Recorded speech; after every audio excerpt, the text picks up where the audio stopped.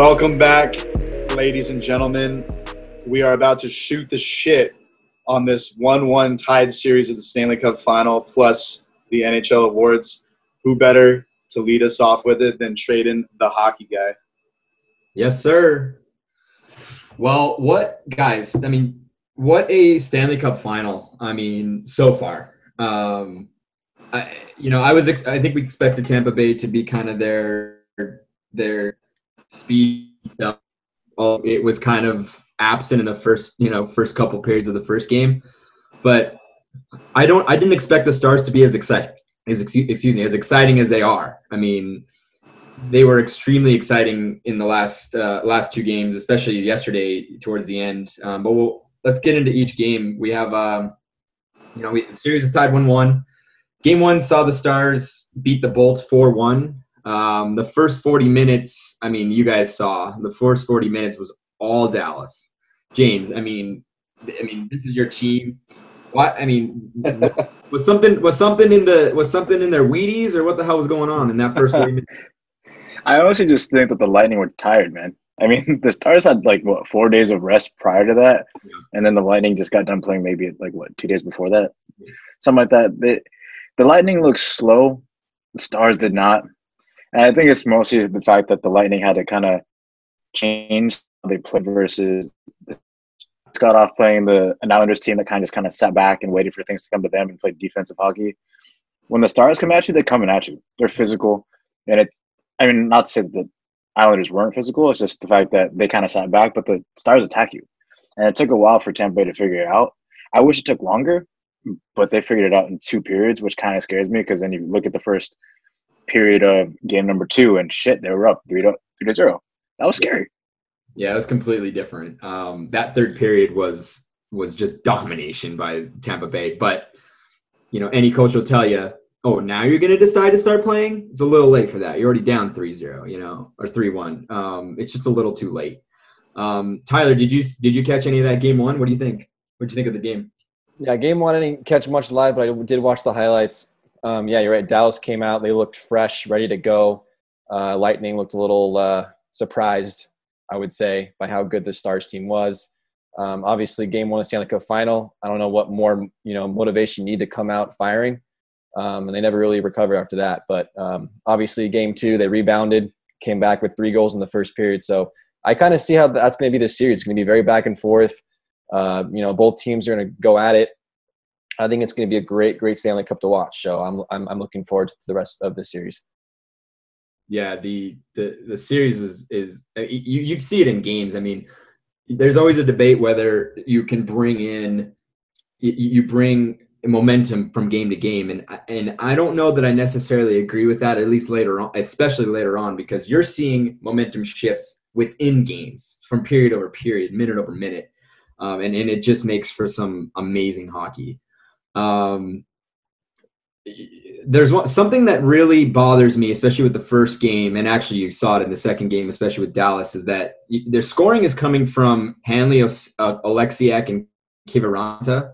The only point for Big Dog first game was Radulov, you know, getting assist on the second goal. Um, Tyler Seguin has been still muted, you know, th- this whole playoffs. It feels like. Eric, are you concerned about the, the the Stars' ability to win a series if their big dogs can't fucking put up their No, because they got that D. And when I'm talking D, I'm talking depth. Uh, no homo. Thanks Actually, for clarifying that. maybe we should cut that out, Tyler. That we shouldn't be saying that word on here uh, with- during Yeah, these man. times. But uh, gotta be more anyways, um, they got that D, and when I say that, I mean they got the depth. Uh, all the whole time they've been in the bubble, Seguin has been a little mouse, hasn't done shit for him, and all these other guys are stepping up, scoring goals. And that's what you need in the playoffs to win, especially in hockey. Guys like Heiskanen, Oleksiak, Gurianov, Hintz, Faksa, Dickinson, Klingberg, who outplayed Hedman in the game one trade and hot take. yeah Ranta. They got a dude named Pavelski. I think is probably the best finisher in the league. That I mean, he has been one of the best finishers in the league, especially in the playoffs when it really matters. But they got all these guys that are taking up the slack for the big dogs like Benn Seguin, um, Radulov. Except I'd say Benn and Radulov have done their job. They need to step it up more. They want to win the cup. Seguin really needs to get it going. We I think we talk about this guy every podcast how he just hasn't really done much. He was like kind of creating chances last night, but it was too late. Yeah, yeah. I mean, it it worries me when you you pay so much money for these big guys to to do to put up points and they're not. It it it doesn't look good for Seguin, but I mean, uh, what I have to what I have to give him is he is solid five on five. He his Corsi stats are solid. He's not putting up a lot of shots on net, but he's making up for it defensively. Like he, he's not not leaking chances which you can't put up chances for, then then you got to prevent chances against. And let Joe Pavelski of all guys just completely dominate the headlines. I mean, Joe Pavelski. I don't know if you if I if I don't know about you guys, but Joe Pavelski seems like he's all over the ice. Whether he's in the penalty box or whether he's scoring goals. What do you got, James? About this guy? Okay, uh, so another way we could look at this, a different perspective, is that that top line isn't producing right now, so everybody else is stepping up because of that. So yeah. if and when that top line starts producing again, the Dallas Stars are going to be a scary team to mess with. No, absolutely. I mean, I'm kind of just waiting for it to happen because eventually those types of guys just kind of break out. So I think the Bolts will have their hands full even more so if that's the case. Um, but shifting over to the Bolts, I mean, I'm, I'm if looking at the last. Wait, wait, one last thing. Can I interrupt yeah. you? My bad. We got to mention that guy, Khudobin, dude. Oh, you'll get dude. We'll get there. He was a bigger part of game two. um, but we're dude, he, he we're saving time for him. okay. Okay. Okay. Actually, because the last 20 minutes, I mean, Tampa, t- t- Tampa. It was almost like you, you flipped the switch and Tampa was Tampa was flying. Um, I mean, out shooting the the Stars 22 to two, a 43 to three advantage in shot attempts, just absolutely dominated the third period. And then here, here, here he is, Anton Dobby Khudobin came a hero, stopping all of the shots in the third. Um, I mean, Tyler, th- this guy takes over for Ben Bishop early on, early on in the quarterfinals, um, and now he sits, you know, nine and zero oh with a with a um, you know ninety three percent save percentage in the past nine games. That's before yesterday's game, of course, mind you. But in the third period, he has a 96 save percentage. I mean, I know we've been kind of pumping the tires of Miro Heiskanen, but do you think that Khudobin is kind of stealing the Conn Smythe from right under his feet? 100%. I mean, how many times do you get you see in the in the playoffs the goalie steps up and is shut down. There's a brick wall in the net and wills his team to win a Stanley Cup. I can think of one a few years ago, right over there over my right shoulder, Jonathan Quick I mean, probably one of the best goalie performances we've seen in re- in recent years. I think Khudobin right now is playing right up to that level. If he comes in and steps up and puts in can put in three more wins for this Dallas Stars team, I think his name's going to be on that Conn Smythe 100%. You think if, if and when he does win that, they should give him like that rotten wool sock like in Harry Potter, you know, when it frees Dobby when he's not like a slave anymore. like they should have it like in the joke. good reference. Good reference. Well, you, you, know that brings us to game two. I mean, I, I um, Kylie and I, um, we uh, we watched this game together, um, and it, it started with the Bolts onside. It's almost like the period three, you know, came back from game one, and they pound, pound uh, stars into the ground that first period. Now, what worried me prior to, and I had said it to her, I said the, the star, this, the Bolts can't freaking score in the power play. Sure enough, on their second second power play, they score back to back power play goals. Um, so obviously, they kind of broke the broke the seal on that. What worries me with the Dallas Stars coming from game one and game two is discipline. It seems like they're in the box a lot for among many different types of you know penalties. James, is discipline going to be a huge factor here for the Dallas Stars? Oh, dude, yeah, definitely. I mean, before this game, I would say no because, like you mentioned, the Bulls couldn't score on the power play, but they figured it out. So now it's just like the Dallas Stars play physical hockey, and I say that over and over and over again. But you got to figure out, you got to find that fine line between too physical, so you, and then just like playing your style of hockey, and that's yeah. going to be tough. If they can find the fine line when, when stuff will start. But man, the fact that the Bolts finally figured out their power play, that's not a good sign for the Stars. not. Um, interesting that you say, you know, you talk about their physical play because we looked, we saw Kiviranta take runs at Brayden Point in game one. Um, we saw um, Kucherov get completely manhandled yesterday. Okay, I hold up. I have a lot of respect for that guy. He oh. got destroyed, and I thought he was gonna not get up or just leave the game entirely multiple times, but he just came back and he played really well after coming back. Guys, that that guy is insane. He has he has a lot of my respect. My my issue with Kucherov prior to yesterday was whenever he starts to get frustrated, he shows it. He starts to take stupid penalties. He acts kind of pouty. And guys, Kucherov is absolutely getting lit up. He goes to the back to wipe off some paint on his visor from the from the boards after he got slammed into the slammed in face first. Comes back, records what is reassist or two at least this yes to break the playoff the season playoff record in Bolts history that was set by Brad Richards in 2004 at 28 points. And we still have at least, you know, three games to go. And, you know, that's assuming that it doesn't go to game seven or game six. So, I mean, I agree with you, James. You have to give that guy pre- uh, credit to. I don't think he let the, his spirits break, and he actually threw it right back in the faces of of the stars. And to me, it hurts a lot more on the scoreboard than it does, you know, getting hit in the boards. That, that's just how it goes. Um, I will say this: after a dominant first period, I, I, think that the Stars really were hanging on. I mean, Tyler, did you see any of the second game? I mean, it, it, it looked like a completely different, again, a completely different game later on. Yeah, absolutely. I, I caught I caught most of it. Um, yeah, all all Tampa Bay Lightning really the first you know two periods. Dallas Stars came in the third, made it interesting. But I mean, that's got got gotta love this you know hockey. It's just what it is. It's physical. It's going to be close, even when you think Tampa Bay is going to run run away with it after the first period. You know their sticks go quiet and they can't seem to score anymore. Stars step up. That's what you love about hockey games, like you mentioned earlier. There's so many ebbs and flows. There's so many momentum changers. Even a three goal lead in the playoffs isn't necessarily a guaranteed safety net. Yeah, no, I, I get it. Unless you get a TLDR bump like mid game, that course. still could be could be sketchy. Yeah. um, bouncing off one last point, um, Eric, you brought up the point that the that the defense on the Stars were actually outplayed Hedman on game one. I 100% agree. I'm actually starting to be in the camp that Hedman, it's Hedman's Conn Smythe to lose if the Tampa Bay Lightning win, but he's not going to win it if he plays like he did game one. So I definitely, he definitely turned it around last game. I mean, Hedman is, is just a complete powerhouse on the back end. Um, but to, to finish up the discussion, um, you know, we may or may not be talking about a winner next week. I mean, if it goes to game seven, they're playing on Wednesday.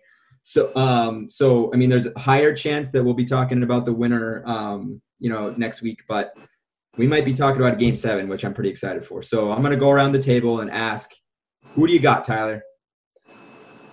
All right, this is a really tough one. I've gone against the Stars all playoff long. I'm going to continue that trend. Lightning and seven. Lightning and seven. Okay. Uh, James? Stars six. Stars and six. And Eric? Stars seven. Stars seven.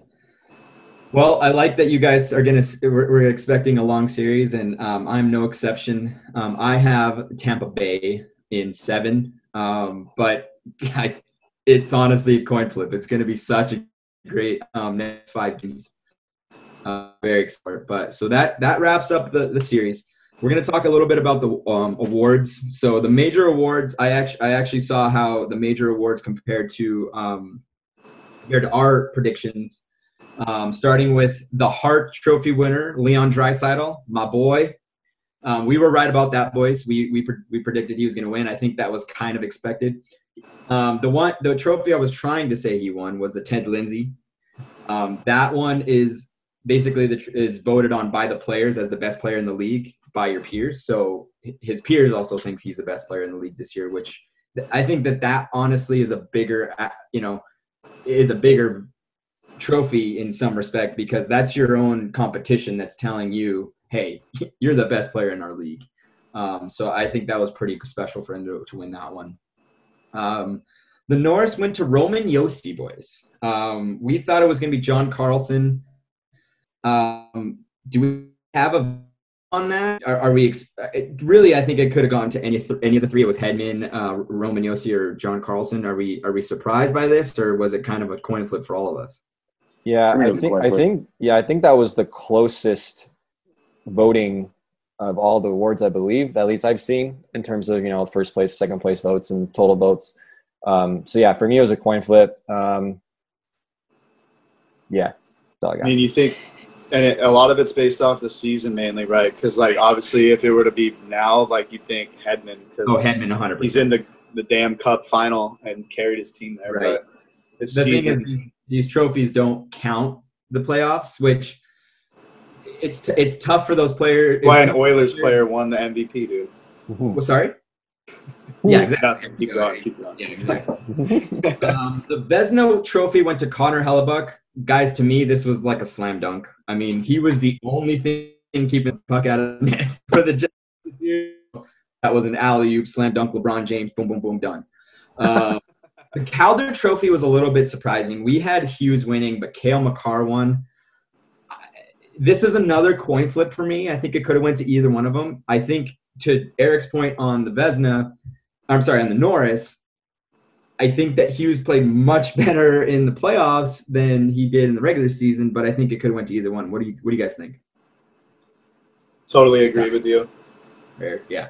I agree. Also, dude, why why does NHL have to call these trophies like Vezina, Norris? No one knows what it means. I feel Uh-huh. like I get that's like named after someone. And that's all good. I mean, baseball does it too, but they still call it MVP, Rookie of the Year. It just makes it because I always. I mean, I- I'm a big hockey guy. I follow hockey, but it's like I can't remember which one's which every time.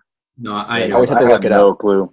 No I, I, idea. I should, I should have started by saying who, which one's which. Norris was the best defense. Yeah, Vezina Calder was the rookie.